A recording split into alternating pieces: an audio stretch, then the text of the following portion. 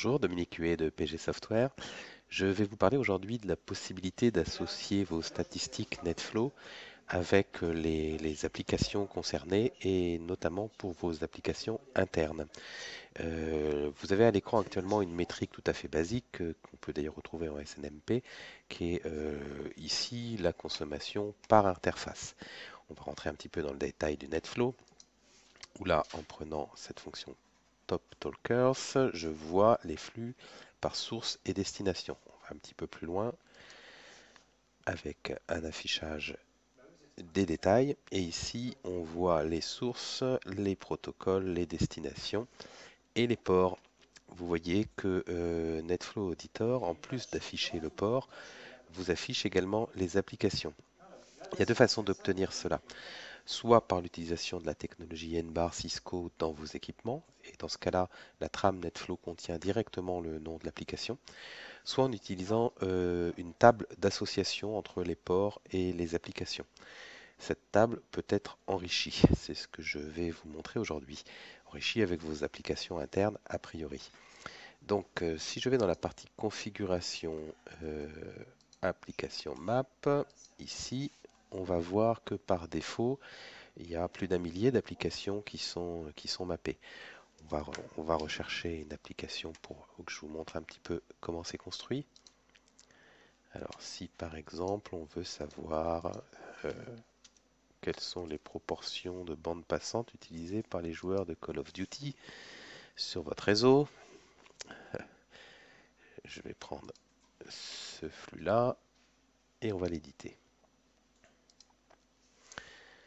Ce qu'on va voir, c'est qu'il y a ici deux mappings, un euh, sur le protocole UDP et un autre sur le protocole TCP. Et vous voyez par exemple que sur le protocole TCP, on a associé plusieurs ports à cette application. Il y a beaucoup d'autres possibilités que, pourrait détailler. Euh, là, il s'agit vraiment d'un premier aperçu de, cette architecture, et, euh, des, ports et des applications. Donc je, passe assez rapidement. Euh, ce qui va nous intéresser, c'est de construire des nouvelles applications, des nouvelles associations. Alors, par exemple, ici, NetFlow Auditor fonctionne sur un serveur web qui utilise le port 8080 sur mon réseau, cette, euh, cette application tourne sur une IP 105. Donc, ici, je vais chercher toutes mes applications qui sont déjà mappées sur le port 8080. Je vois l'application par défaut, HTTP Alternet, et celle que j'ai rajoutée moi-même, NetFlow Auditor. Si j'édite la ligne que j'ai rajoutée, ici, NetFlow Auditor, je vais voir que cette fois, contrairement euh, à l'association euh, que l'on a vue précédemment, ici je spécifie l'adresse IP puisque je sais que mon application interne ne fonctionne que sur, cette machine. Et donc euh, tous les flux en port 80, 80 autres que ceux émanant de la machine 105 seront toujours qualifiés comme étant du HTTP Alternet. Et seulement ceux de la machine 105 seront qualifiés comme étant des flux NetFlow Auditor. Ça se concrétise euh, sur les affichages par application, avec ici, on va le voir,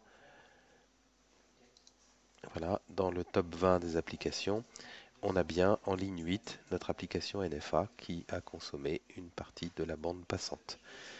Voilà, euh, on pourrait en dire beaucoup plus sur cette technologie-là. N'hésitez pas à nous solliciter pour euh, si, cela vous intéresse ou si vous souhaitez découvrir un peu plus en avant ces produits de monitoring NetFlow. Je vous remercie de votre attention et à très bientôt.